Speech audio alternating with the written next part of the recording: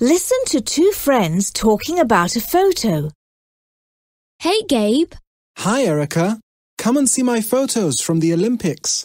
There are lots of photos of the horse riding competition. They're great. Who's this? Oh, that's Laura Bechtolsheimer. She's a world champion horse rider from the UK. She looks beautiful in this photo. She is. She's got blue eyes and long blonde hair. Look at her horse. He's so beautiful. What's his name? It's Mistral Hojris. Mistral Hodger Hogger. How do you say his name? Mistral Hojris. But Laura just calls him Alf. Well, I'll just call him Alf. I love his orange brown colour. That colour is called chestnut. It's funny because Mistral Hojris sometimes looks brown and he sometimes looks orange.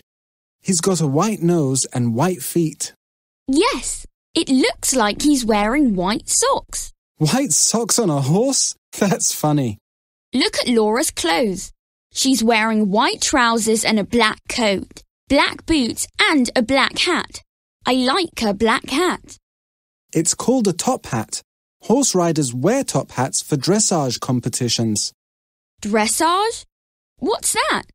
It's a special riding competition. Some people call it horse ballet. The horses do different movements.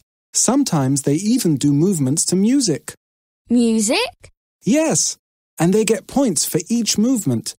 How many points can they get? The top score is 10 points.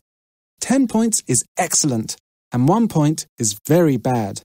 Horse riding looks like fun. Why don't we go horse riding today? We haven't got much homework. That's a great idea. Maybe one day we can be in a dressage competition in the Olympics too.